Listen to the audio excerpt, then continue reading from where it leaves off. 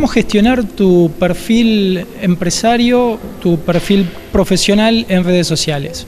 Desde las relaciones públicas manejamos un método que es la investigación, la planificación, la comunicación y la evaluación. Desde esa óptica y desde esa mirada entonces, lo que te propongo es que hagas una investigación de tu emprendimiento, a cuáles, eh, cuáles son los públicos objetivos a los que apuntás, eh, cuáles son las necesidades que esos públicos tienen.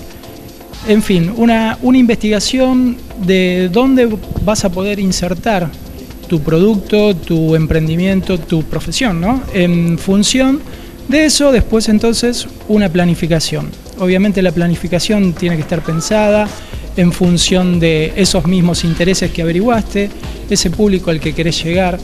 Y la utilización acá de las redes sociales hoy creemos que es fundamental. Hoy todas las empresas, todos los profesionales estamos en LinkedIn, en Facebook, en Twitter, eh, en distintas redes sociales y plataformas que hacen que tu emprendimiento sea conocido, que tu emprendimiento o tu profesión llegue a más gente. A partir entonces de esa planificación que haces, obviamente después viene la comunicación. ¿Cómo voy a comunicar lo que sé hacer o lo que hago en las redes sociales? Cada una de esas redes sociales tiene un lenguaje, tiene una forma de, hablar, de comunicarse, de expresarse. Bien, a partir entonces de esa búsqueda que hicimos, de esa investigación de nuestro mercado, de nuestro público objetivo, poder detectarlos ¿sí? para poder comunicarlos. Bueno, ¿en dónde están? ¿En qué tipo de redes sociales están? ¿Nos sirven los videos? ¿Nos sirve tuitear? ¿Nos sirve Facebook? ¿Estamos o no estamos para eso? ¿Cuál es nuestro, nuestro público objetivo entonces para poder este, comunicarle en ese canal de la mejor forma posible? Obviamente una página web no puede estar exenta de nuestra planificación, ¿sí? tenemos que tener una página web.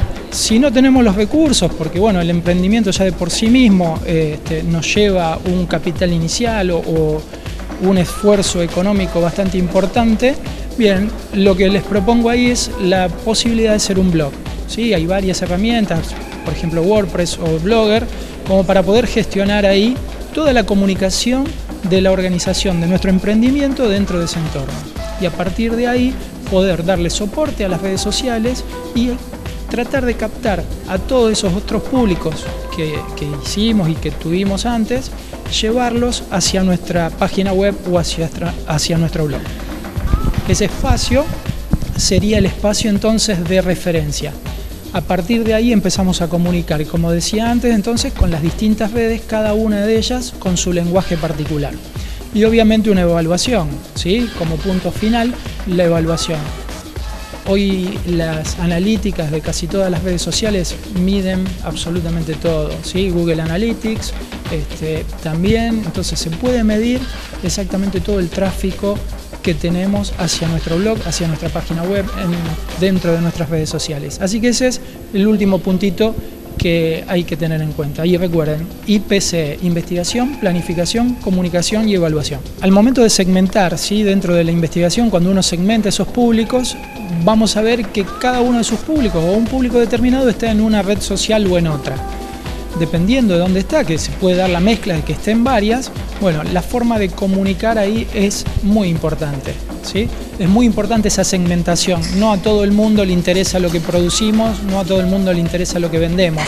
Lo importante es poder detectarlos y en, esa relación que se produce y en esa relación que establecemos con nuestros públicos, lo importante es darle material con alto valor, con contenido que les sirva y poder generar ahí una relación este, simbiótica, si se quiere, ¿sí? establecer lazos y, establecer ese canal que nosotros en Relaciones Públicas llamamos un canal bidireccional.